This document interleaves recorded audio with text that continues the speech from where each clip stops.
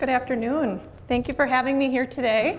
Um, I know most of you in the room, but for those of you that don't know me, as she mentioned, my name is Katherine Vergos, and I'm the Chief Operating Officer at Ripon Medical Center. Um, I'm a nurse by trade and came to Ripon about three years ago, three and a half years ago. Um, before that, I worked for another healthcare organization in the state, which um, I've been banned to say. it's the other A um, for about nine years. Um, before that, I was an officer in the Navy and a nurse in the Navy and was stationed out in Washington, D.C. Um, originally from Fond du Lac, went to Marian. sorry, Ripon College Stable, uh, went to Marian University, and so I'm back here. Moved back about 12 years ago, brought my husband, and um, we have a three-year-old. So um, I'm happy to be here today. I appreciate your time to learn a little bit about the new Ripon Medical Center.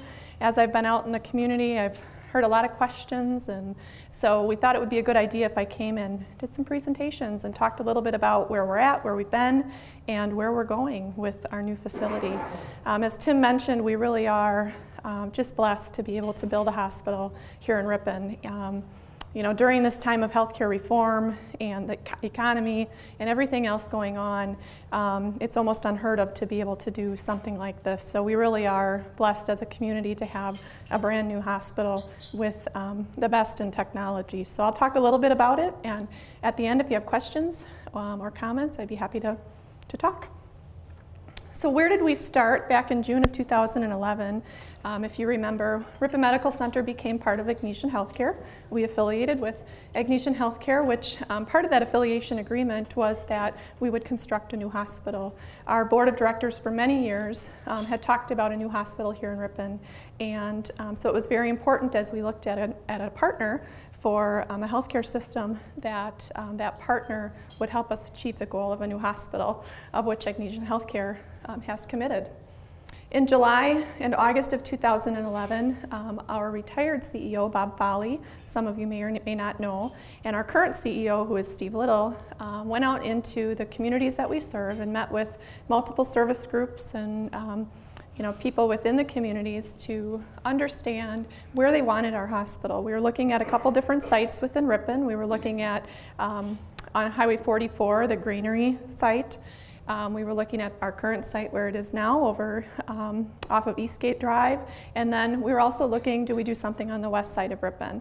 And so as they went out and talked to the community, um, they asked the question, here's our options, where would you like us to be located? And about 70% of the people said that they would like us to be located where you see us building today. In January of 2012, we purchased the 20 acres where you see our site today.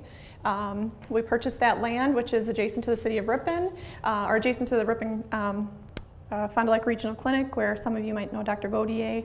We call that, internally, we call that Dr. Gaudier's clinic. Um, so um, that is the clinic right as you're entering Ripon from the east. In September, we broke ground and we had a ceremony on the site. And some of you um, in the room I can look around that I had conversations to after September and before April um, you know, you broke ground in September, well, what happened then? And there was a lot of site prep work that needed to occur before we could actually get in the ground. As a requirement, um, as a hospital within the state of Wisconsin, you have to have two water lines coming to your building. And so the work that you just saw along Douglas Street, or along um, 23, excuse me, uh, that was the secondary water line being brought into the hospital site. The, the site also did not have any utilities um, and other things coming into the site, so we had to bring all of that in.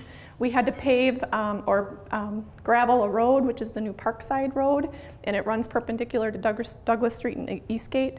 That will be the actual road that the hospital is on, so we had to put that road in. So there was many, many, many things that needed to occur before we could actually get in the ground. We were scheduled to get in the ground in March of 2013, but if you remember March, it was very wet and cold and snowy, and so um, we had to delay that until October, April, excuse me. So we began work in April on the footings and the foundation, um, and following that we had to get some state approvals, and um, you know, throughout the process we go to the state for different approvals on the construction plan. So I don't know if any of you have been out there lately. The best view of the new site is off Douglas Street. I wanted to mention as well on Douglas Street, um, there was some improvements that were done, and that was part of our negotiation with the city as well as we purchased the land, is that we would provide those um, enhancements on Douglas Street. So Agnesian Healthcare did fund that. Um, that work as well. And so the best view of the new hospital is to drive up Douglas Street. Lori probably won't like this answer, but pull over to the side of the road and you can, you can look and see that's where you can get the best view because right now the cornfield, as most of you see, is in the way to actually see the, see the progress of the hospital. Um, so our facility is progressing quickly. They started construction on the west end of the building and they're moving towards the east. And so they needed to pour the footings, the foundation, the concrete slab, and then they started the steel and exterior work and that's what they're working on right now. And so the steel and exterior work is moving from west to east and by the winter we will have it enclosed because during the winter we will have, um, they'll be working on all the in interior um, drywall and the stuff that goes inside the building. So our emergency room is going up first. So as you look from Douglas Street, you'll see um, a tower, a two-story tower, two and a half story, and that's actually the emergency room entrance. Um, and I'll show a little bit of our views here in a minute. Um, so I mentioned before the utilities are in, the water's in, and the enhancement has been done to Douglas Street. So what happened behind the scenes of the hospital? I always joke to people that over the last year and a half, I've really had two full-time jobs.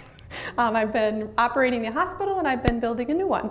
And so um, it's been exciting work. We've engaged a lot of people in the planning of the new hospital. We not only worked with our internal people, such as our leaders and our associates and our volunteers and our physicians and our board, but we also um, met with different focus groups in the community as well. We used our volunteers as patients. We invited other people in, other families and patients that use our facility now to really understand as we're designing a new facility what's important to them.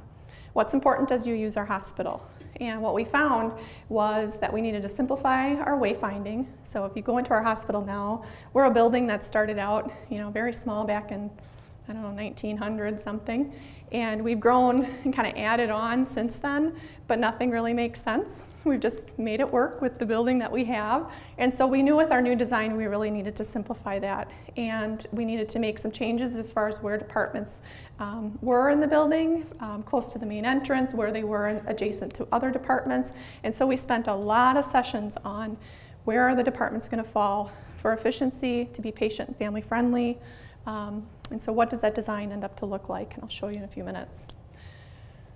We also developed a mock patient room, and it's still um, in progress today. What that means is in our lower level, we used an old large storage space, probably about the size of this room, and we actually put a patient room in there. We put walls up, we put a bed in there, we put a bathroom, we put, you walk in and it looks like a private patient room. Um, it's not all pretty with, with um, trim and paint or anything, but it gives you an idea of the size of the room and where things are going to be in that room, where the bed's going to be placed, where's the sink, where's the bathroom, where's the medical gases. And we've had anybody that enters that room, whether you're a physician, a nurse, your um, environmental services, nutrition services, x-ray, whoever comes into a patient room, we had them come in and bring the things that they use.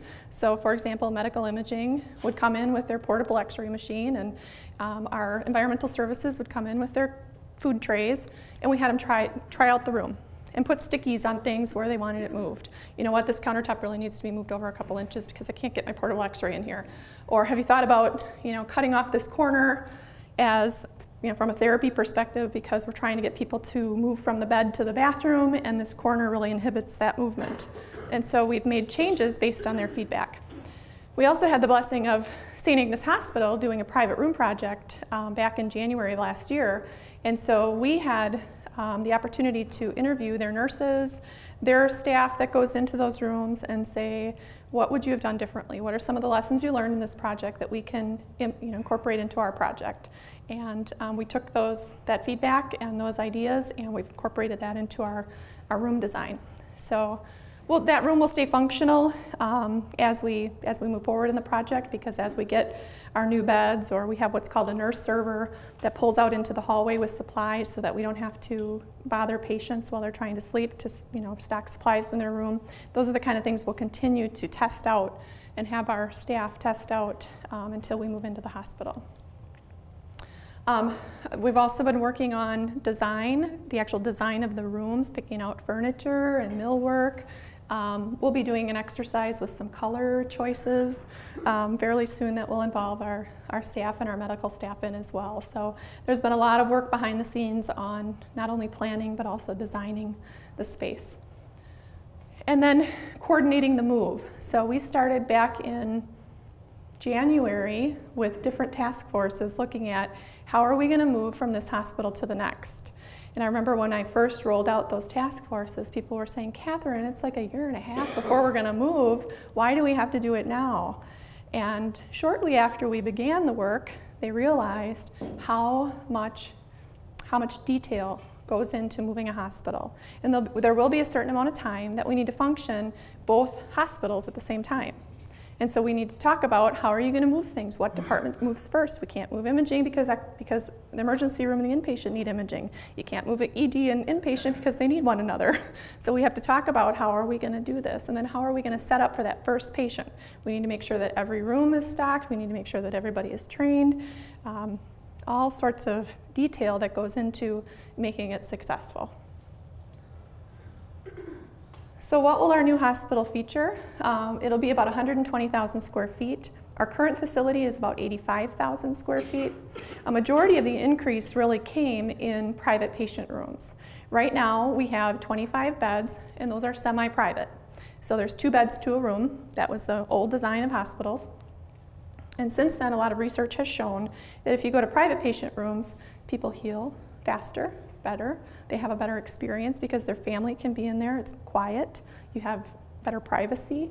And so um, we moved from a semi-private to a private patient room.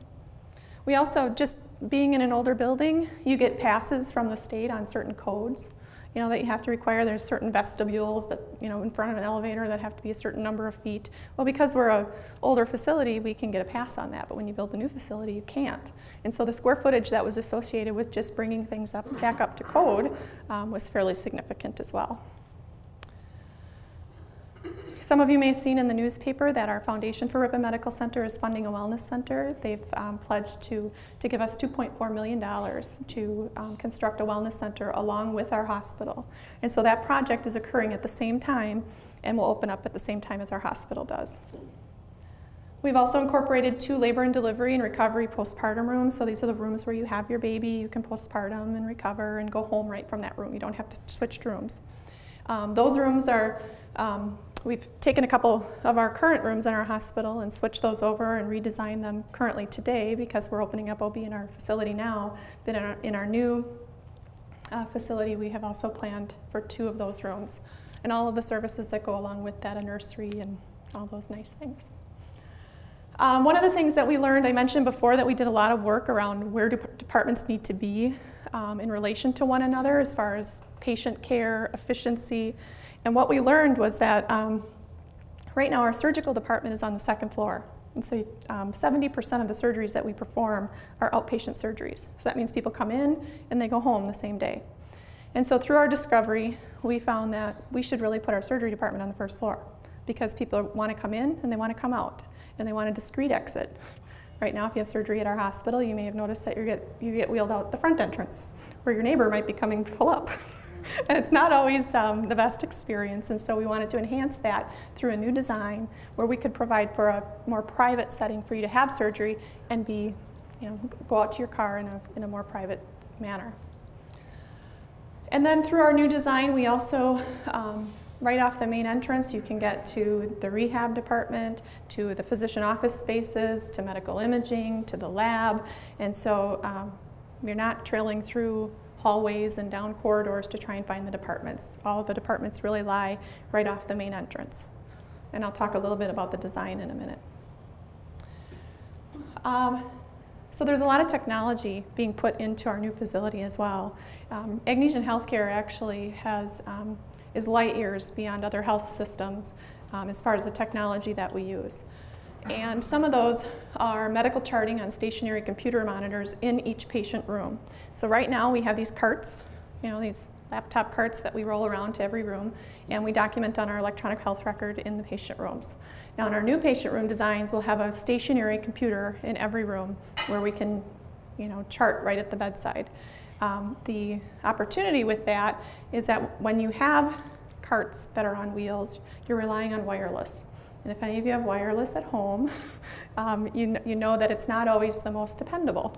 And it comes on and off, and so when you have them hardwired into the patient room, you never have to worry about that, and it saves a lot of time.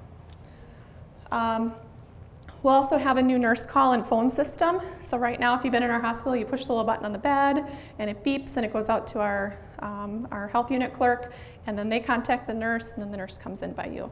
Our new technology will be where the nurse carries a telephone and you call for that nurse from your bed and the nurse picks it up right onto her telephone. And so she can get back to you or he can get back to you at much quicker. It doesn't have to go through two or three people before the nurse knows what you need. We're also putting 42-inch flat screen TVs in each room. Now this sounds great, you know, not most of us don't even have 42-inch flat screen TVs at home, but um, this is much more than a television. Um, you know, it does have some gaming and movies and all of that stuff, but it's really meant to be interactive and education. We'll have, um, you know, say you're a new diabetic, diabetic that comes into our hospital. We will have, through our televisions in each of the rooms, an opportunity for you to learn about diabetes. There'll be um, education on how do you control your diabetes, how do you give yourself an injection, um, how do you count carbs, you know, what are the best foods to eat. And so there'll be a lot of educational opportunity for you as you're lying there in your patient bed um, to really learn about your new disease process so you can get well. And then we're building in some infrastructure for telehealth. So telehealth, some of you may or may not have heard of, but it's a, it's a, um, it's a technology that you can use to bring specialty services to areas that you may not have them before. So it's used through elect, um, electronics, a lot of time robots or televisions. But um, I'll give you an example that, that would make sense to you. So say you've got, um, you know, we're in a rural area here, and you want access um, in your patient bed to pediatric cardiologist. Well, a pediatric cardiologist is not going to have a practice in Ripon, Wisconsin because the volumes aren't there to, to um, be able to support that practice. However, you could do telehealth and you can have an arrangement with a pediatric cardiologist out of Milwaukee or Madison or wherever they may house and be able to still get that service back here in Ripon, but through technology. So that, that physician could assess you while you're laying in bed based on a robot they have stethoscopes and ultrasounds and all sorts of things that um, connect to them so that, that that physician can provide services to you right here in Ripon. And so we don't have specific services that we have outlined yet that we'll use for telehealth, but we know we will. And so we want to have the infrastructure built into our new hospital so that when that day comes, we're prepared and we can offer you all the services here in Ripon so you don't have to travel for those. So what's coming up with our construction? I mentioned before we'll continue that exterior work. We're hoping to have it all enclosed by winter time before the first snow, when we never really know when that is, but hopefully not, hopefully later rather than sooner. And then from there we'll continue the interior build out of the hospital. We'll continue to plan for the interior design and ensuring a smooth process for that move that I talked about before. And um, we will be keeping some updates on both the Ripon Commonwealth and Agnesian.com. We'll be doing blogs on both of those websites. So at any given time, if you're wondering where we're at and what's new with the project, um, you can go to either one of those websites and um, pull up the blog, ask a question, um, interact with somebody. Um, typically it's me working through Shelly. if you have questions that she doesn't know, I answer them for you um, to talk about the project and to see where we're at with the new hospital. So before we have questions, I just kind of want to walk through some of the um, photos that I brought today to give you an idea of what our new hospital will look like. Um, this first board is looking at, if you're coming in from Douglas Street, you can see the emergency entrance is here, so I'm driving in from Douglas Street, and here's Parkside, which is the road that the hospital is going to be on. Um, this is the emergency entrance, you can see here, and then you can also see over, in, over here is the main entrance. So the main entrance will actually be right on Parkside Street, which is that new street. The emergency room entrance will be right off of, it'll be on um, Parkside, but you can view it from Douglas Street. Does that make sense? Um, this is a main entrance coming from Eastgate. So if you come in by Dr. Gaudier's clinic and you look at the new hospital, you can see it from this way. So that's the main entrance, and this is the Wellness Center entrance. The Wellness Center will have a separate 24-hour seven day a week entrance as well, because if any of you use our facilities now, you know that's a 24-hour facility. This is an aerial view here. this is looking at it from the back.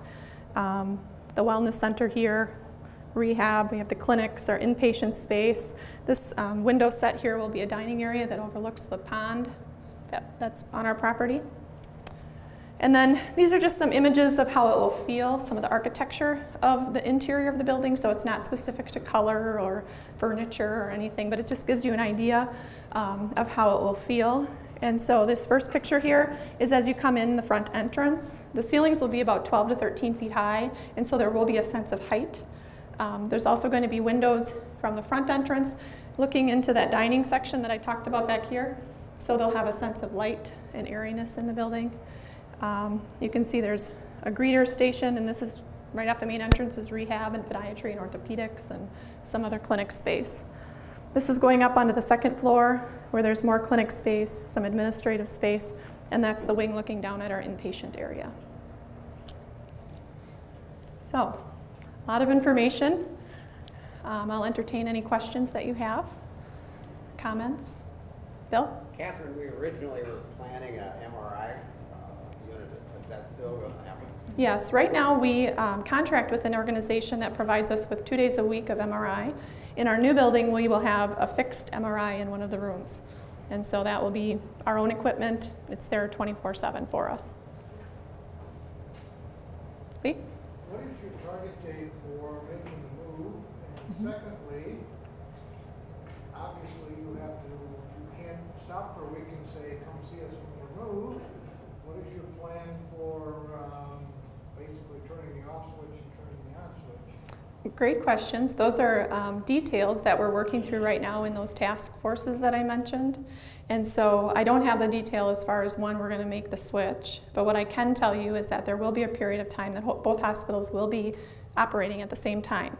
Now there may be um, services offered at this hospital and at this hospital within a certain period of time. And when I'm talking time, it could be hours to a day. It won't be weeks by any means or a week. It'll be a very short time frame. Um, and those are all the details that are being worked out right now. But our target um, time frame is the end of summer, early fall to have first patient in our new hospital. And it depends on our contractors and when they can get that work done. They've targeted end of summer, early fall. And as soon as they're done, we'll commission the building. We'll have all of our inspections completed. We will train all of our staff, and then we will move our our um, operations. Yes, ma'am. Did you talk about the Wellness Center and some of the features? I did not. So Wellness Center is about a 9,000 square foot wellness center. So if you, if any of you use our facilities today, we have the gym, which is our rehab gym, and then we also use it for fitness. In our new facility, there'll be a separate rehab gym that's used for rehabilitative services for patients, and then there'll be a wellness center that's used for the community. And that will have um, fitness equipment, so you know, bikes and um, treadmills and weights and all those sort of things. We'll have a classroom for spinning and yoga and some of those other things. But we'll also incorporate other wellness initiatives as well, like cooking classes. You know, how do you cook healthy and how do you want to train for a 5K? And you know, so some of those other wellness um, initiatives, we'll be doing some classroom activities in that classroom as well. And so we're trying to take not only a fitness perspective, but a wellness perspective and looking at the, the mind, body, and the soul. So stress management, um, you know, whatever you can think of that would make you feel better, more well, uh, we will offer in our wellness center. And we look for feedback from our community as far as what the needs are you know, what, what are the issues are out in our community that we need to um, develop programming around, and we develop those programs through our, what's called our Journeys program, and that's a community education program. And so we bring that to our wellness center to be able to educate our community on how to be well. You talked about utilizing both hospitals at the same time. Are you thinking that you're purchasing all new equipment and furniture for, for the new hospital? And what are you going to do with all the old equipment? There will be some equipment that comes with us, and so that will be um, part of the planning of when do you move it and how. Um, but there are a majority of our furniture, I should say, there's some medical equipment that we have that's really, really good. We just purchased, for example, our digital mammography. We just purchased it a couple years ago. It's a fabulous piece of equipment that will come with us. And so that, those details will have to be worked out by these task forces that I mentioned because there is going to be some medical equipment that comes with us. Most of the furniture will stay, and we're still trying to decide what we want to do with that furniture. We may be able to donate some, we may be able to do some buybacks through some of our vendors, we may do other donations through, maybe we'll have an associate day where they can come through and take a, whatever they want. we haven't really decided all those details, but we do know that we will have some that will be donated, some that will go with us, and then others that we can work with our vendors on getting credit for. So, yes, Is the ma'am. MRI going to be an open MRI? It is not. It's a it's a regular MRI machine. Okay. Mhm. And then secondly, with the telehealth, that's certainly going to be new to our Mhm. community. Uh, what is your experience with it in dealing with insurance companies? Are insurance companies up to speed with that? And Um, they are. There are specific provisions to each insurance carrier as far as what they cover for telehealth. And so as we plan telehealth services for the new, you know, in the years to come, we always take into consideration what are people paying for? What are those insurance carriers paying for? And we're not going to implement something that, you know, isn't going to be paid by your insurance company because they're kind of all over the board right now as far as who pays what. Medicare is a payer of telehealth. They're a very strong payer of telehealth, and typically the insurance carriers follow Medicare in their practices. And so other larger companies, you know, like your Humana and some of those other ones, they also cover telehealth. And so we look at who our payers are, what they're covering, what criteria they have for coverage, and then we incorporate that into our planning. Other questions? Okay, well, thank you very much for having me here today. I appreciate it. Again, if you need to know what's or want to know what's going on with the new Ripon Medical Center, go to agnesianhealthcare.com or thecommonwealth.com, um, and we'll have blogs on there keeping you up to date.